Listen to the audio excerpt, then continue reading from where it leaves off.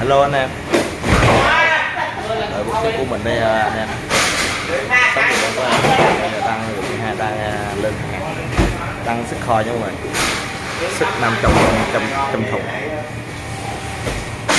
Đấy cả. Còn à, mời mấy đứa anh em ở bên kho kia đang làm. Bây giờ hiện tại anh em đang làm ở đây nha. Phải ơi. Dạ, xong rồi nẻo Không lắm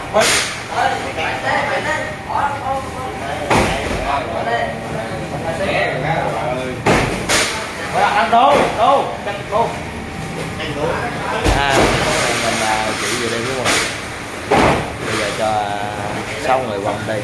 Sức bảy trăm mấy cũng như hai được giáp người rồi chứ không thêm một xíu nữa thì anh kho đó ảnh ở đó ở mình thời thuốc nhẹ đây cuộc sống anh em mình chỉ nha. Rồi cuộc sống một sức anh em mình đi. rồi nếu là anh em nào mà có hàng ở bên thủ đức nha mọi người khui ờ, giật thủ đức thì cũng đọc cho mình mọi người.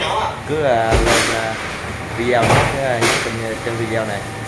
Ờ, ờ, mình mình sẽ mình sẽ ờ, nhận ờ, cả hàng xuất nhập kho hay là mình sẽ làm hết nha mọi người tại anh em mình.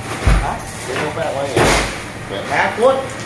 Thành một anh à, tại anh em cho cái nón đổi.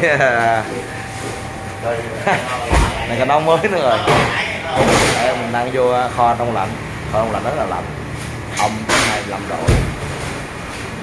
mình sẽ vô mình kéo hàng ra một chút. Hàng bây giờ mình đang làm bên đây người ta sẽ xuất hàng bên đây.